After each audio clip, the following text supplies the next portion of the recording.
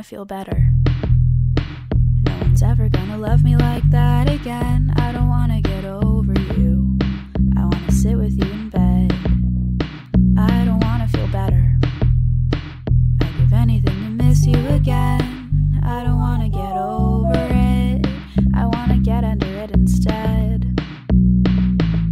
A book sits on top of clean and messy blankets on a bed that fucking creaks at night when I get in it late and late at night. I'm chugging Gatorade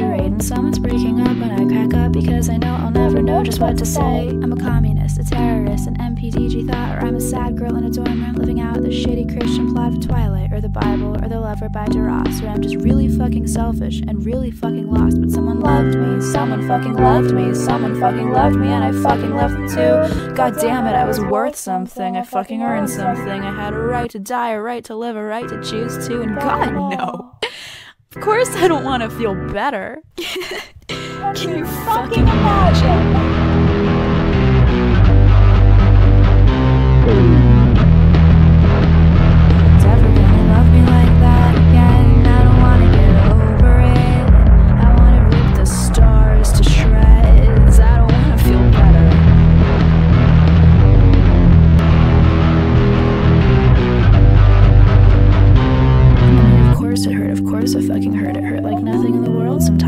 Was super scared. And we were all a train wreck and also somehow making it. I think I might have died there twice and I would do it all again. I'm a nihilist, a soldier, an OCD machine, or I'm a healthy baby girl who traded sunshine for disease. But when my head hit my cheap pillow, I could tell I had a heart and I want to tear this fascist Milky Way apart. But someone loved me, someone fucking loved me on my filthy life. I loved someone I barely knew. God damn it, I was worth something. I fucking learned something, and it felt better in my mouth than fresh warm food.